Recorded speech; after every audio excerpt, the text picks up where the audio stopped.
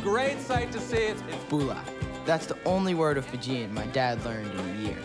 He took our family from New York to Fiji to run the 180 Meridian Cinema, the world's dirtiest theater.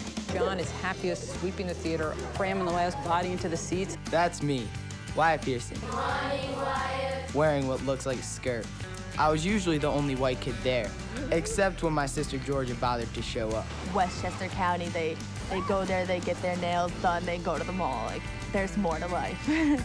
Mom didn't wash the laundry in the river, but she made lots of friends. With all her talking. Something came out of the screen and she screamed. Dad is supposed to be a big shot in independent films. Take a wild ride through the indie film world with John Pierson. You know, the boring kind. I wanted a sort of um, midlife crisis slash mission where the family was also involved. He wanted a change of pace, which meant no TV or electricity for us. The movies were free all year. How many straight nights of free movies are we going to have now? How many different movies in 10 days? 10! Yes. Some local authorities didn't like free movies, or my dad. Is this project primarily for the benefit of the people of Taveuni, or is it for the benefit of John Pierson? Wild rumors started at school.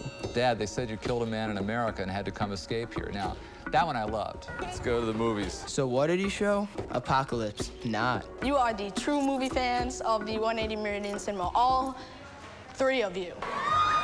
Me and Georgia knew what the audience really liked. And then there was our favorite.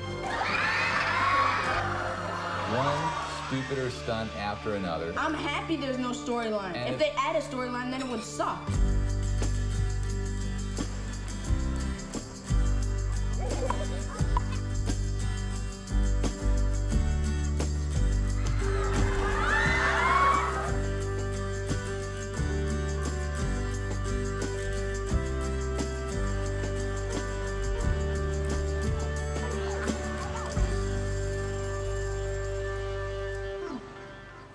Enjoy the movie.